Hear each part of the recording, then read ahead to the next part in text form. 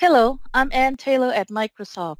I would like to tell you about new tools in Windows 11 that can help you be more productive at work. These tools are the Do Not Disturb feature and the Focus feature. To access these tools using Narrator, I can navigate to the system notification icon and activate it. Windows Shell Experience Host. Notifications. Do not disturb button on.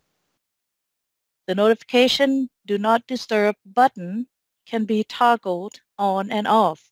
When it is toggled on, I will not receive any distracting pop-ups while I'm working.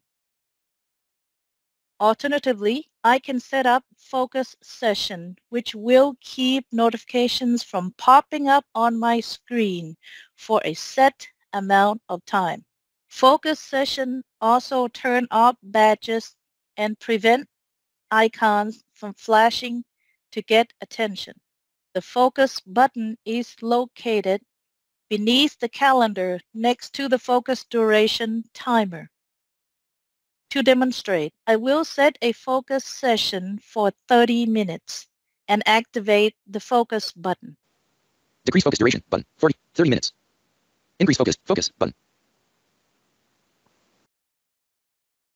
I can now get my work done with fewer distractions and receive notifications again afterwards.